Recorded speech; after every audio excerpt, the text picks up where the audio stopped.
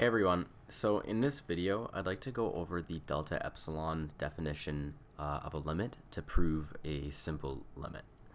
So this question says that it wants you to prove the limit as x approaches 4 of the function 2x plus 4 uh, equals 12 and you know it's pretty obvious that we can just plug in 4 and evaluate this limit directly. But if we were asked to actually prove this using the definition of a, uh, of a limit, the delta epsilon definition, then it gets a little bit more complicated, but it's not too too bad if you uh, like understand it a bit better.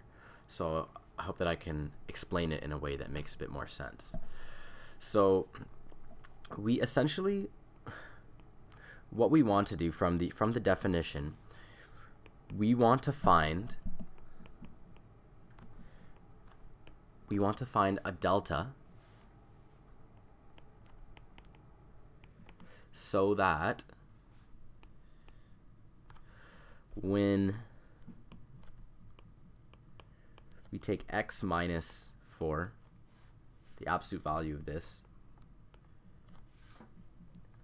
if this is less than delta, then the function 2x plus 4 minus what the limit evaluates to, 12 you, that should be less than epsilon for for all epsilon greater than zero. And that doesn't make a whole lot of sense right now. I'm much more of a visual person, so let me try to explain this a bit with like a, a, a little visual. Okay, so let's say that we've got our okay our x and y axes here. This is y, this is x, okay? And we know that, okay, 2x plus 4 is going to be a linear function. It's going to look something like this. S something, approximate, right?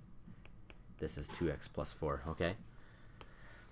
I know that, okay, let's just pick a value right here. This is, we'll say 4, okay? And so we know that the limit at that point, the function very obviously will be equal to 12. Right? Okay. So, epsilon is given.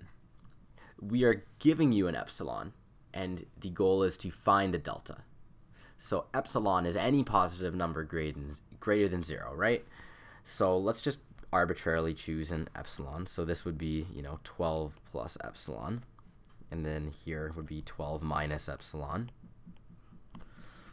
right? And it looks really, you know, very large right now, epsilon. But that's okay, because it's, you know, we can pick epsilon to be anything. So, at this value here, so now, these x values here. So, this would be like a difference of delta. So this would be like 4 minus delta. This would be 4 plus delta. Okay?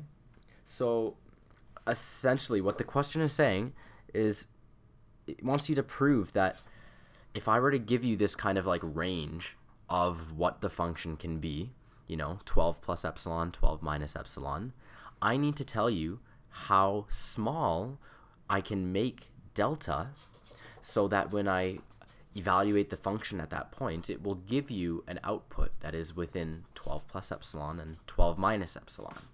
So it's really just, you know, how close do I have to be to 4 so that I am within that tolerance of epsilon? And the goal is that if I can choose an eps any epsilon greater than 0, so if I can prove that general case, um, you know, then that means that I could choose epsilon to be 0.0001, right?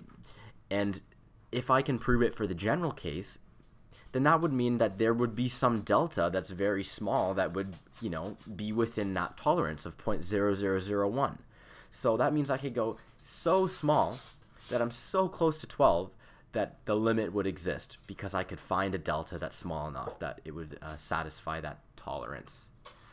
So that's basically what it means, okay?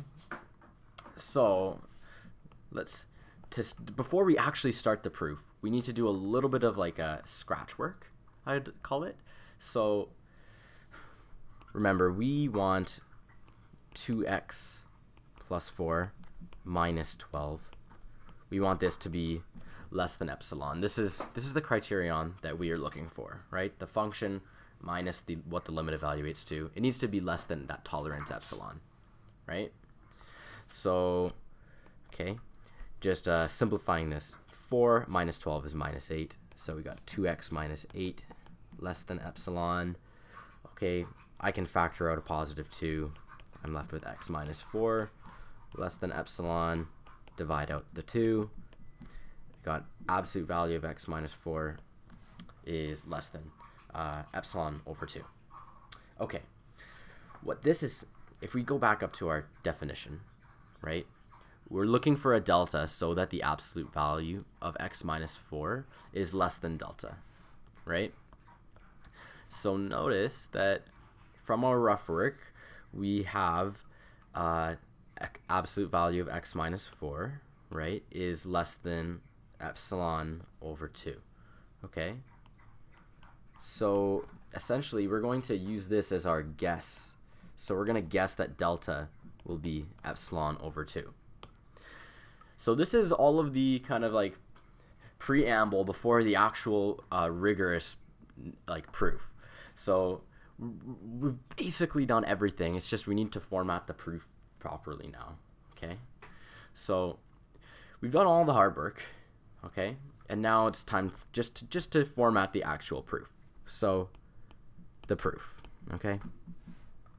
So first of all, we're going to let epsilon be uh, any positive number greater than 0. And we will guess that, you know, delta is equal to epsilon over 2. And keep in mind, this is a greater than 0 as well, right? Because epsilon's positive, dividing by 2. So we're, we're going to take our take a guess that uh, epsilon, or delta is epsilon divided by 2. Next, what we're going to do is make an assumption. What we're going to do is assume that x, the absolute value of x minus 4 is less than delta,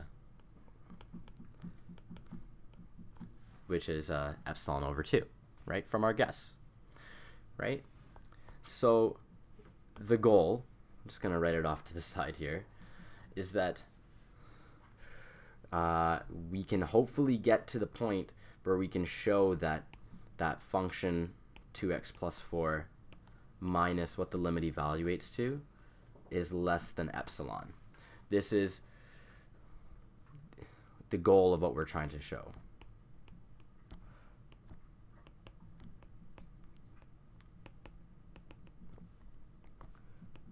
Right? So we've made so we've we've made a guess for made a guess for delta. Okay? We're going to make this assumption and using this assumption we're going to hope to show that if this is true, then I can show that f of x minus L, which is 12, is less than epsilon. So if that assumption's true, then I can show this. And if, hopefully, we can show that it's true. If it is, then we're done. So, okay, almost there, right? Okay, so what is, okay, 2x plus 4 minus 12, okay? This is just like a, a new line, right? Absolute value of the function minus 12 is equal to, well, okay, we've already kind of done this, right? Remember, this is just 4 minus 12. This is 2x minus 8. Okay, and factor out the 2. Absolute value, 2 times absolute value of x minus 4. Okay, now look at the assumption that we made, right? Okay, so absolute value of x minus 4, that's got to be less than epsilon over 2, okay?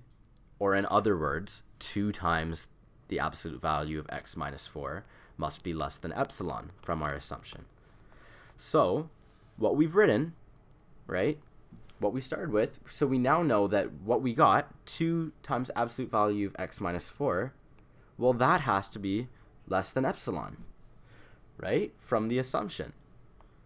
But 2 times the absolute value of x minus 4, remember what we started with? we started with f of x minus the limit.